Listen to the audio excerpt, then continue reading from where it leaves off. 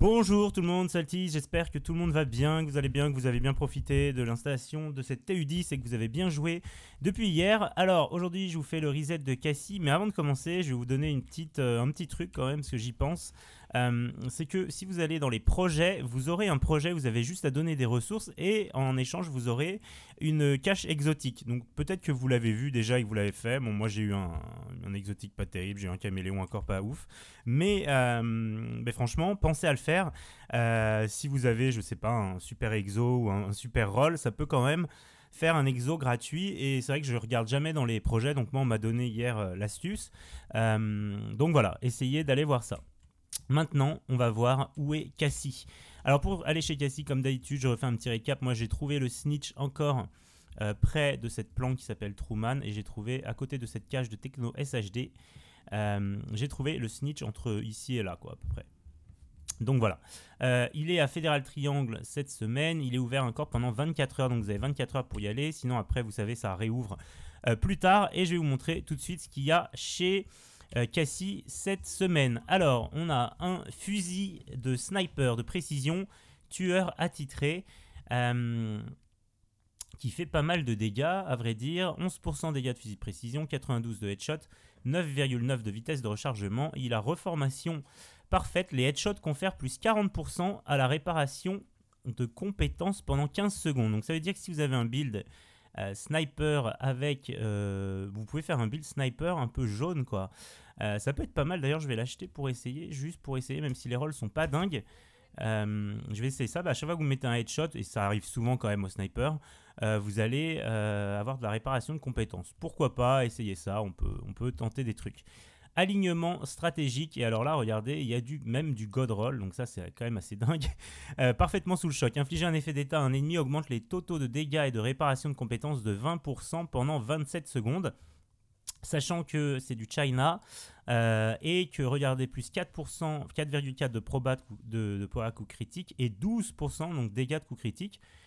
Assez intéressant, ils le mettent, ils le mettent ici pour. Euh, je suis en train de réfléchir si c'est si voulu ou si c'est vraiment un peu au hasard, mais en tout cas, ça peut nous indiquer qu'on peut aussi faire des builds hybrides rouge-jaune à essayer avec, euh, avec des effets d'état. Ça peut être sympa de tester ça. Alors moi, comme d'habitude, j'ai le shield euh, Splinterer qui est toujours très bien et le Golan chasseur tueur parce que ça, j'ai fini tous les hunters du jeu. Donc si vous avez fini tous les hunters du jeu toutes les semaines, checkez si vous avez un nouveau rôle de ce shield Splinterer et de ce chasseur tueur.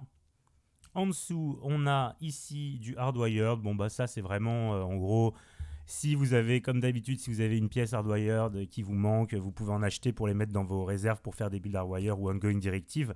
Par exemple, les rolls sont pas géniaux, non. On a ici euh, des gants protocole Eclipse, donc ça c'est pour les effets d'état. Je vais en acheter une paire également pour mettre dans ma réserve. Vous avez des genouillères ongoing directive et là regardez. Alors a priori j'ai cru que c'était euh, juste pour le raid, mais regardez, a priori, non. On a, euh, on a une ceinture, donc un holster Foundry Bulwark. Donc c'est le gear set de raid pour tanker, vous savez, celui qui avait une régène de dingue sur le PTS, avec un, rôle de 5% de proba, un rouge, un bleu. Bon, pas mal, hein, franchement, autant le prendre maintenant. parce que je suis sûr qu'au bout d'un moment, vous trouverez, vous chercherez des pièces Foundry Bulwark donc voilà, franchement, n'hésitez pas, achetez-le. Je suis assez étonné euh, d'ailleurs qu'il y ait du Foundry Bulwark, je comprends pas trop pourquoi, mais bon, vu qu'il est là, autant en profiter. On a après un Mask Ongoing Directive, euh, qui a des bons rôles aussi. Hein. Franchement, regardez, les rôles sont quand même vraiment euh, mieux, je trouve, qu'il que, y a quelques semaines. On a un G36 militaire qui est pas mal non plus du tout avec Optimist. Un SRS furtif avec Tueur. Bon, rien de spécial, mais ça va. On a ici un sac de rando Alp Summit, et là, euh, regardez, il y a le, le God Roll de régénération de protection, le maximum roll, donc n'hésitez pas non plus si vous ne l'avez pas à le mettre dans votre bibliothèque.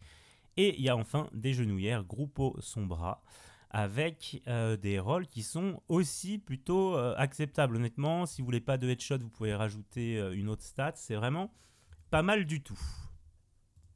Voilà, c'est tout pour aujourd'hui chez Cassie. Mais franchement, pour le Foundry Bulwark, n'hésitez pas, vraiment prenez-le parce que je suis sûr qu'à bout d'un moment, euh, si ça se trouve, ce sera pas si facile à trouver que ça et vous serez bien content d'avoir trouvé euh, ce holster Foundry Bulwark au tout début. il est là et euh, j'ai vraiment envie de, tester ce, set, donc n'hésitez pas à le prendre. À mon avis, ça pourra vous servir. Sur ce, je vous souhaite une bonne TU10, c'était Altis, je vous dis à très bientôt pour plein de nouvelles vidéos sur TU10, sur The Division 2 comme d'habitude. Et je vous dis, bah écoutez, bonne journée et on se voit très bientôt. Ciao à tous